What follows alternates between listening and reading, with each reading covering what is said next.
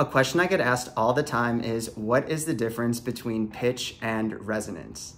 So, pitch is related to how high or low someone's voice is. So, an example of a high pitch would be like the note G3. Mm. The note E3 would be more of a neutral pitch. Mm. And the note A2 would be more of a low pitch. Mm. Pitch is important in gender affirming voice coaching, but what's even more important is something called resonance. And this is how we can modify the shape of the vocal tract, that's the space inside the throat and the mouth, in order to create brighter or darker sounds.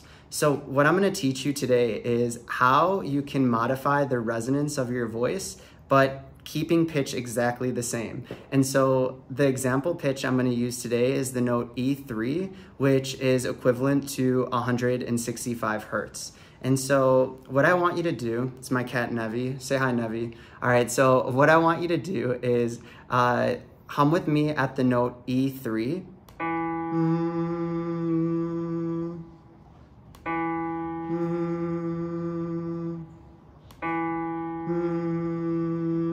And get used to that. So that's a note E3, once again, 165 hertz. That means when you're matching me while humming, your vocal folds are vibrating at 165 times per second.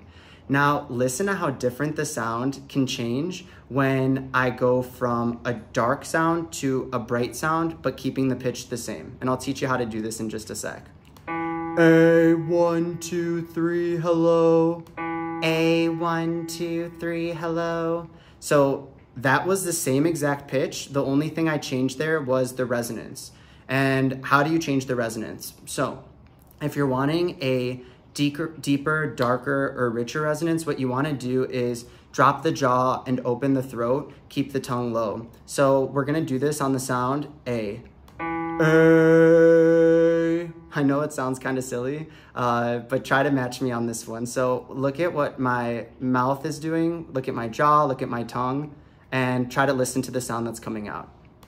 A. Can you match it with me? A.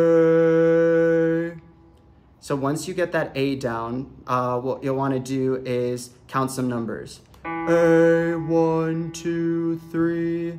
So that's all at the note E3. I'm not changing my pitch at all, keeping it exactly at the E3. Now, if you're wanting a brighter resonance, what you wanna do is lift the tongue up and what you can do, how you can do that is by smiling and spreading the lips a little bit and bringing the tongue up. So it will sound something like this. A, if you're wanting a deeper, darker voice uh, or lighter, brighter voice, I recommend doing both just so you can build awareness of, of the two. So um, now what I want you to do is with that bright A, we're gonna count to three.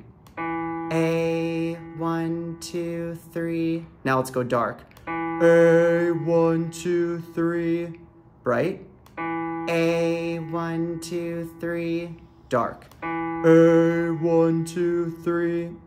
So basically, what I teach people how to do is I guide them on finding a pitch that feels affirming and authentic for them. So today we did the note E3, which is more in the neutral range, but if somebody wants to go higher on the scale or lower on the scale, that's totally fine. So once we find a pitch that feels affirming and authentic, then we work on brightening or darkening the resonance of the voice through different exercises with how to lift the larynx and lower the larynx, uh, how to modify the shape of the tongue and different vowel sounds in order to find a place that feels uh, comfortable for whoever I'm working with. So some people like to go super bright, some people like to go really dark, some people like to stay in the middle. And so it's really cool being able to guide people along uh, their voice journey and how they can find a voice that feels like most affirming and authentic for them.